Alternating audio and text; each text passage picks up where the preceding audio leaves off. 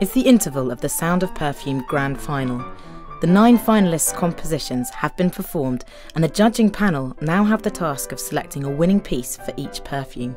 The compositions are fantastic compositions, uh, irrespective of which one wins, and it's a, you know, it's a bit like all these prizes, isn't it? Mm. Mm. Should we do 1872? I think we should. 90 I liked about the first one. Yes. Um, Mm. was it? It was very delicate and Mm. feminine, It which I was. thought It was was. uh, suitable to the perfume. Yeah. The second piece in that category was a really interesting piece of music, but it was not didn't really reflect the perfume. No, it was no. it was No. too it was too bold and uh, quite, it was a very avant-garde, atonal Quite piece. dark, It's wasn't and very dark, but Yeah. really and very interesting. Half pedaling and Yes. techniques. And I mean, Yeah, it's Yes, very technical. astonishingly well played. quite distant. Yeah, very but well executed. Actually, they Yes. all pretty well played, weren't they? Yes. Number three, I felt that that was historic, gentle, uh, evocative of a, a, a, a gentle age. The third piece, um, I would probably, in my opinion, was the, the best constructed piece and the, the, the best written compositionally. But the first, I felt, was a more honest response to Mm. to the brief and to and to the scent, and it had it had a feel the same, romanticism about it, and actually. I could imagine. I agree with that completely. In a way, it was the more obvious choice. Mm. And if there is more depth, the third piece had, for some reason, had more depth musically, and therefore for the perfume. Hands up for one, Phil, I'm going to have to do it for literal translation. and hands up for three. three takes. Here we are, we've done it. Very good. That was easy. Yeah, make sure I get them in the right envelope.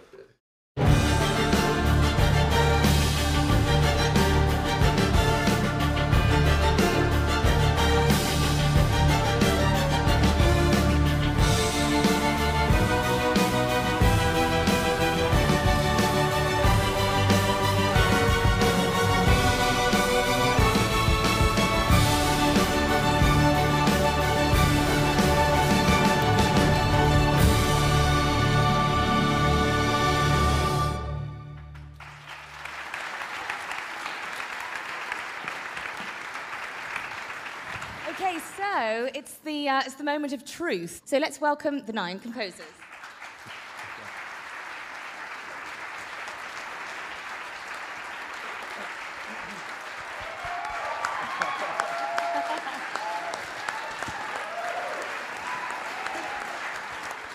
Wonderful panel of judges, first of all. And can I just say, Victoria, thank you so much for bringing this to the Royal College of Music.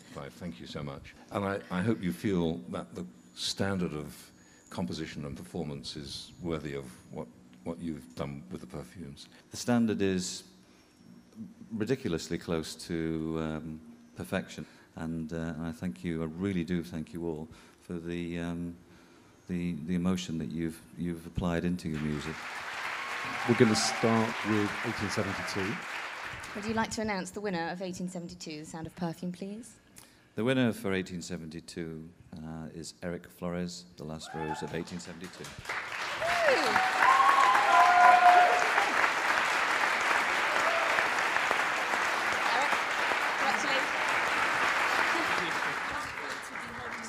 Um, well, no, it's um, hopefully the jury won't regret this tomorrow morning.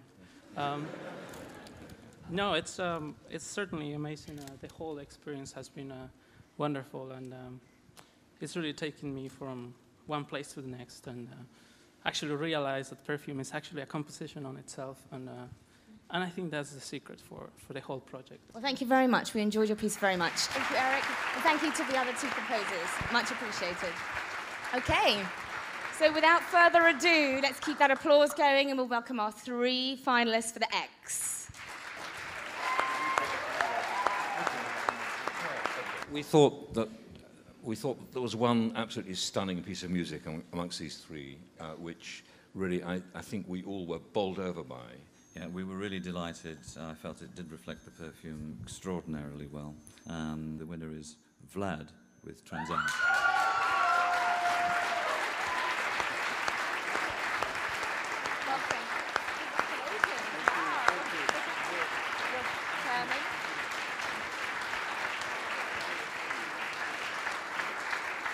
Well done, well done.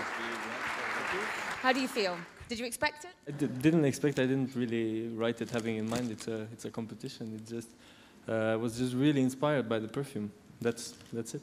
Um, Bill said that you were taken on a sensory lace journey. Yeah, it was like that. That's why um, that's that's why I felt the need to actually ex- expand the piano and to to give it to uh, sort of use the p- possibilities that would take the audience into a, a different dimension, kind of thing. Because I think that's I mean that's what the that's what the perfume did to me. So. Well, wonderful. Thank you very much. Thank you. It's a pleasure. So the number one finalist. We thought they were all stunning pieces, and we actually had quite a lot of difficulty choosing a winner too for that. Um, and um, but we did eventually find a winner. Well, I will announce the, uh, the winning composition by its title, which is Stay Gold. Koyo Kobayashi.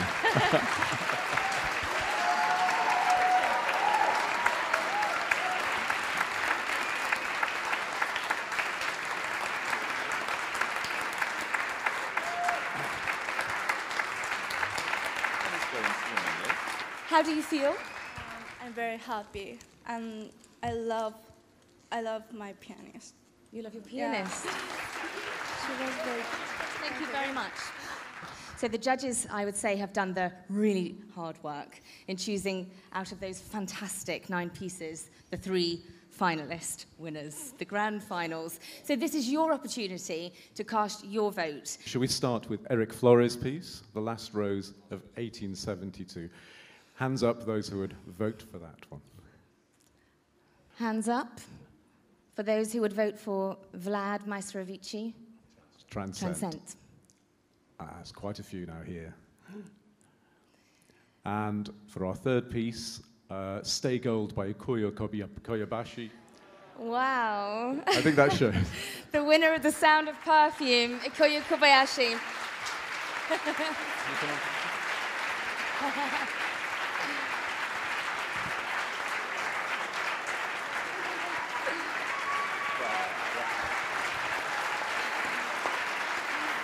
Congratulations.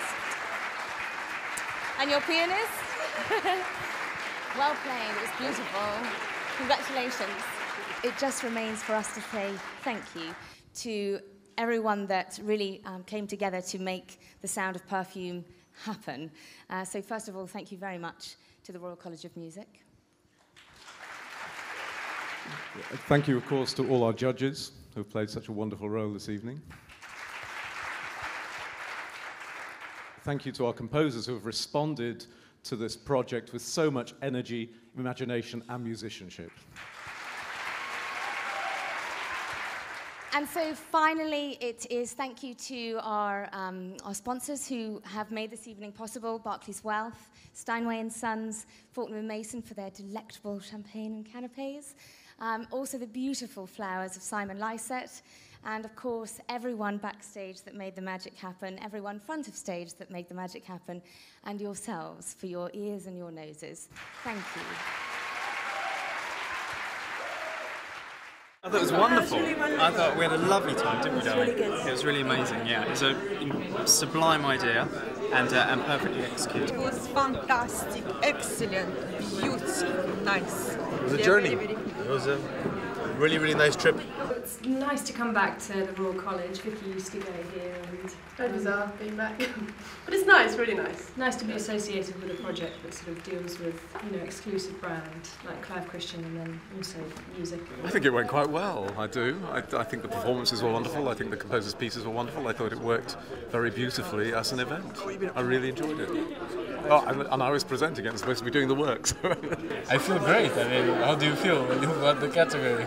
Well, I, just, I, I think all, all the other pieces were fantastic, uh, so it was really unexpected for me. I mean, I, it, it, uh, I'm sure it was a difficult job for, for the panel. It was a really excellent idea. Brilliant to have something to inspire composers. Brilliant to have an idea that's original to inspire composers to write a new piece of music. I feel amazing. I think, uh, I mean, uh, the whole journey has been incredible, and uh, ended up like this. It's just, it's just perfect. I thought that the entire evening's been great pleasure, and I was so impressed with contributions from everybody. I'm very happy and I think competition, you know, competitions like this just sort of make you more keen and make you want to write more. And hearing everyone else's pieces is it's just inspiring, and it makes you want to carry on and do more. So definitely, I'm just going to keep going. With everyone now looking forward to the next Sound of Perfume competition, Victoria Christian explains the significance of this year's winner.